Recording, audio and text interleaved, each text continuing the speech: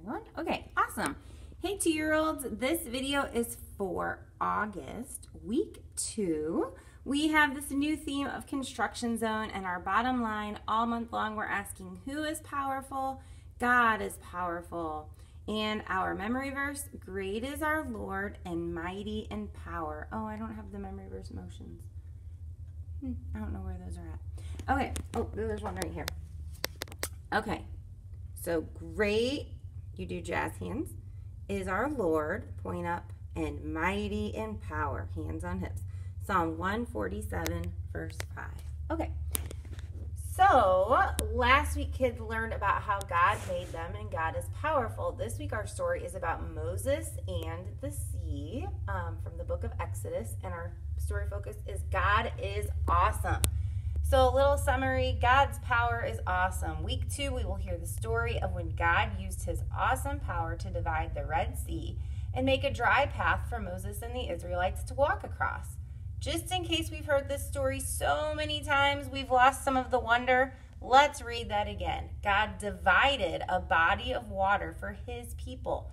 There was a wall of water on each side of them as they walked across on dry land. That is powerful because God is powerful. So, going over to our leader guide for this week. First activity, um, and one of the intro activities before a large group is just called fish.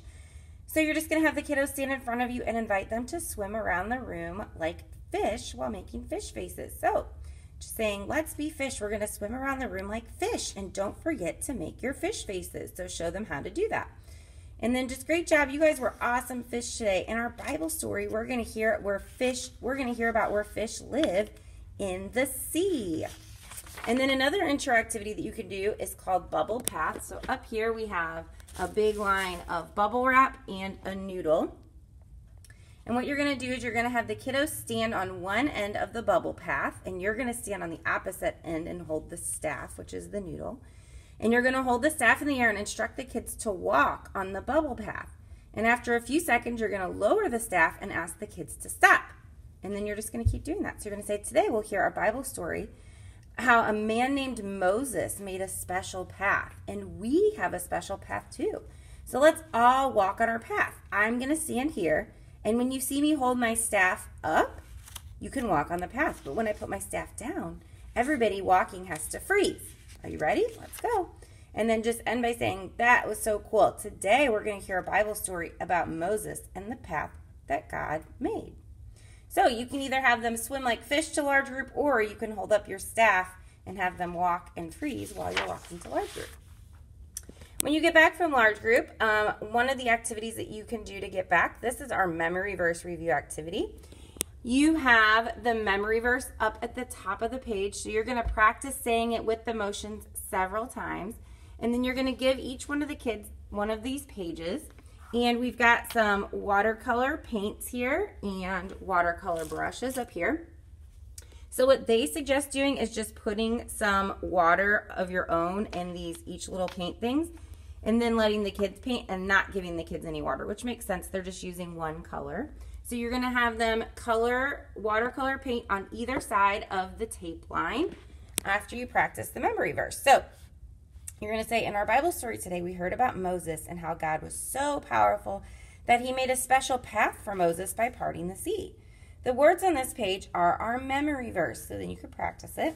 Say, we're going to make a path under the words, a path just like in our Bible story. So you guys are going to paint above the tape, you can paint on the tape, you can paint below the tape.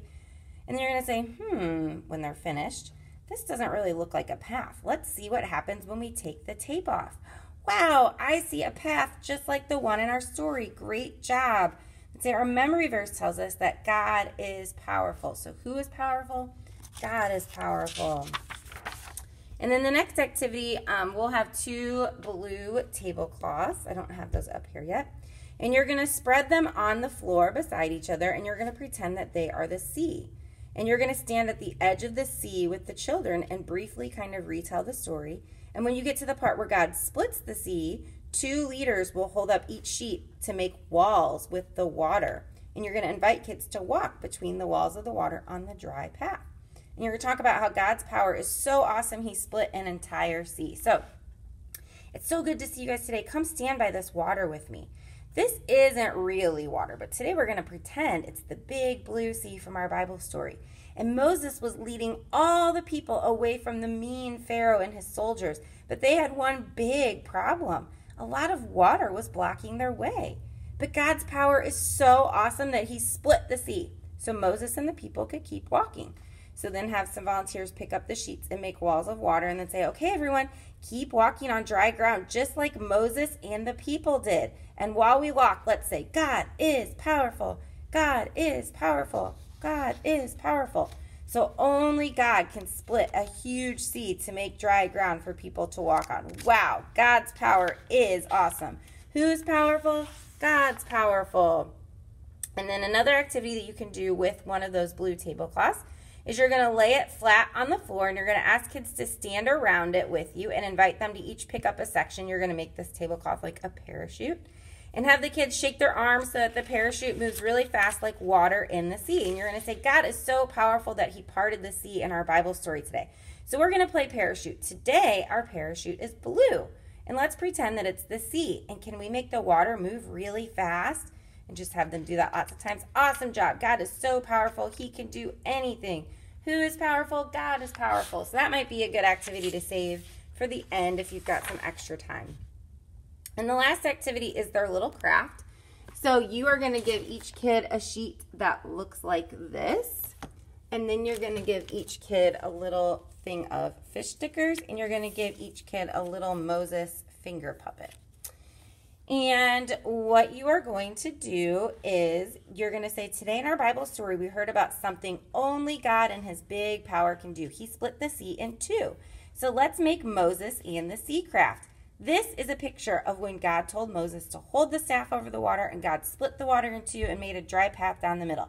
So can you guys color the dry path?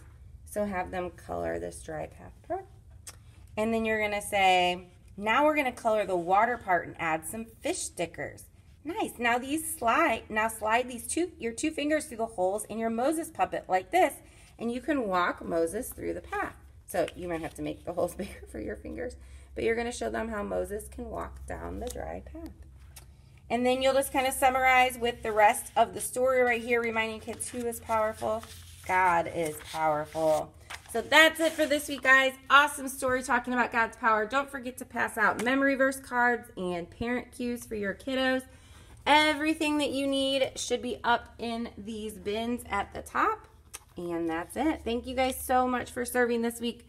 I'm so, so grateful for all of you. Um, more grateful than you guys will ever know. And we'll see you on Sunday.